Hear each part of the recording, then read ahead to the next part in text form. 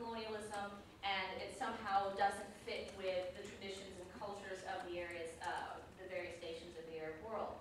A part of what we're about to see is how it was tied, an indigenous women's movement was tied to nationalism, and later on we start to see the split that becomes a part of that argument about whether or not it's native to uh, the women of the region. Uh, from the period, the period from the 1920s to the 1960s witnessed the rise of a public nationalist uh, women's movement. Uh, the first of these public feminists grounded their feminist consciousness in nationalistic concerns. And this makes sense. If you're talking about an entire nation mobilized to remove an unjust system, feminist uh, consciousness and nationalist consciousness have the same demands. They're looking for the removal of a tyrannical structure and they're seeking uh, self-representation. And so it makes sense that people like Huda Sha'arawi would have shown up uh, during this era and were able to tie their very overt and very uh, public feminist discourse to the nationalism that was sweeping through the Arab world as they were getting rid of the various colonial forces. Um, Huda Sha'arawi um, was uh, the first president of the Egyptian Feminist Union, or the EFU. Um, she was the first president of it. Uh, it consisted primarily of upper and middle class Egyptian women. At its height, it only had about 250 members. Uh, it focused on various issues, uh, particularly women's suffrage, increased education for women, um, and changes in the personal status laws. And personal status laws are laws that have to do with marriage, inheritance, divorce, child custody, etc. Um, while the EFU accomplished only very, very few of its goals, it's credited with setting the stage for uh, later feminist victories. In 1920, she also became the president of the Wafdist Women's Central Committee, which was part of her attempt to become involved in the actual politics of uh, the Egyptian state.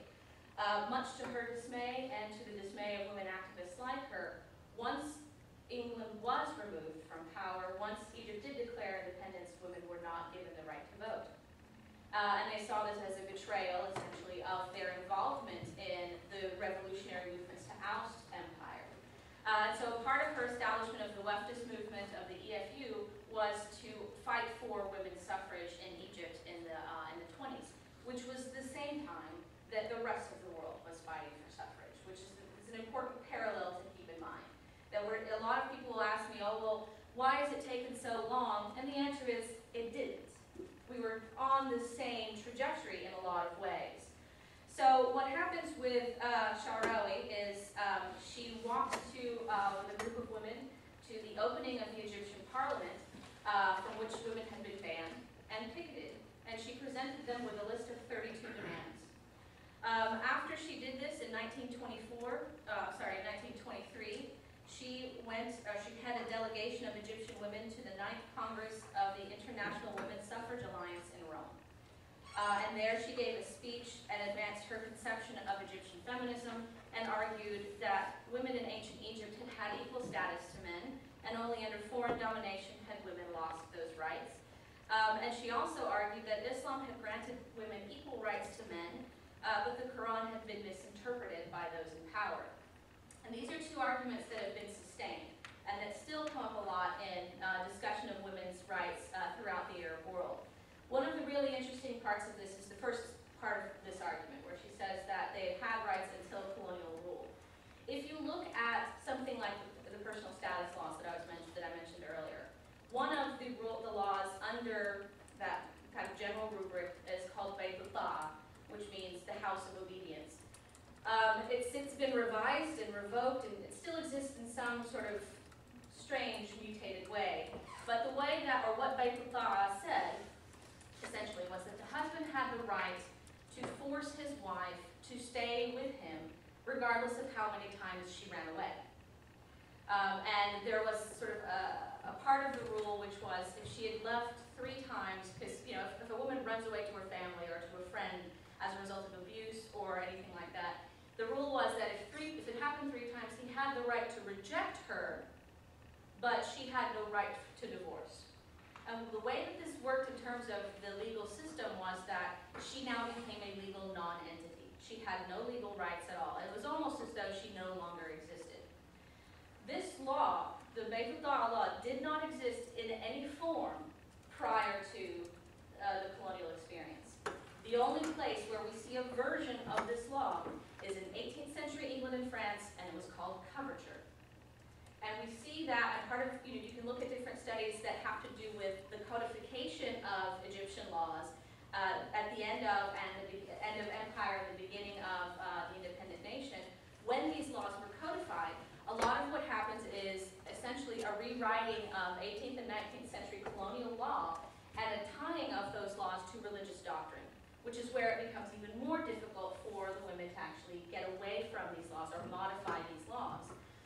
Um, when she returned, going back to Sha'arawi, when she returned uh, from uh, the 1923 Congress in, uh, conference in Rome, uh, she performed an act that has come to stand as a central symbol of her life.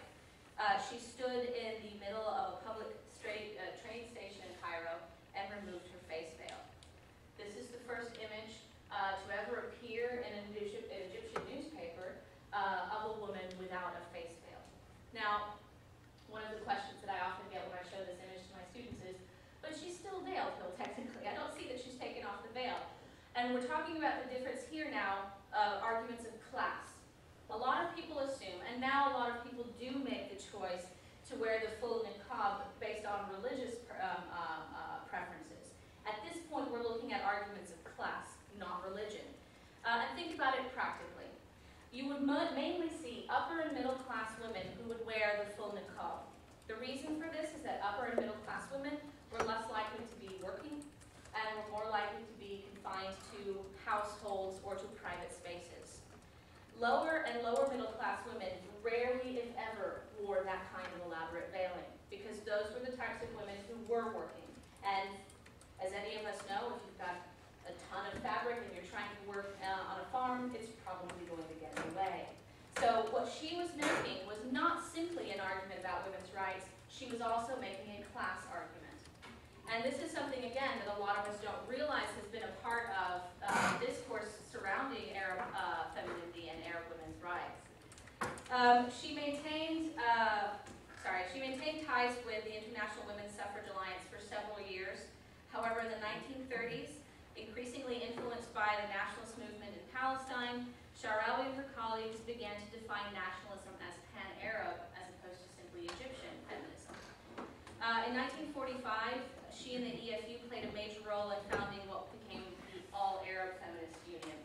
Uh, Faika Muderis from Syria described it as such that basically that part of their um, uh, goal was in order to achieve their nationalist task, we should not only rely on kings, presidents, and other male leaders, but likewise upon women. Zainab al-Ghazali, who joined forces with the feminists, declared, quote, in past times as today, the, women, the woman has called for peace and has raised the banner of her right to defend the land and its dignity. Um, what they ended up doing was questioning inherited wisdom, passed down by patriarchal structures, authorities, surrogates, governments, they rejected uh, received patterns of thought, and they breached the walls of silence. At this point, we're not talking about invisible feminism anymore. A part of what's fascinating about what these women did, what these women did, and what actually is most radical about what they did, was that they were doing it publicly. They signed their names. They founded journals, with, and they weren't publishing things anonymously. They had photos of their faces. They were releasing statements using their own names. It doesn't seem like a radical act, but in most of these societies, women's voices and names were meant to be private. They were meant to be kept out of sight. They were meant to be kept invisible. Go back to the kind of the conception of the harem, you know, enclosing the women within private spaces. So that the, the voices and the names of women were considered awra, which is a term that refers to that which we uh, should be ashamed of or that should be remain hidden. And it's, it's often used uh, as a reference to genitalia, things that you need to keep keeping covered. Uh, in fact, in Saudi Arabia, uh, only recently have they started to revise some of the awra laws which have to do with whether or not women are allowed to speak at all in public. Uh, so the fact that they were speaking publicly, signing their names, and refusing anonymity, that was the more radical part of their acts as opposed to whether or not they went to a conference in Rome. So they're fighting for visibility as much as anything else. I mean, and you want to think about it in terms of, you know, how difficult it is to, to, to start a feminist movement or to, you know, think about it in terms of your own frames of reference. The first step is visibility. The first step is taking it from that sort of subversive, um, uh, secondary narrative into a visible, active, subversive, public narrative, which is what women like Huda Sha'arawi did. As we move forward in time and louder and quieter depending on where we're looking in the Arab world and when colonialism is ending.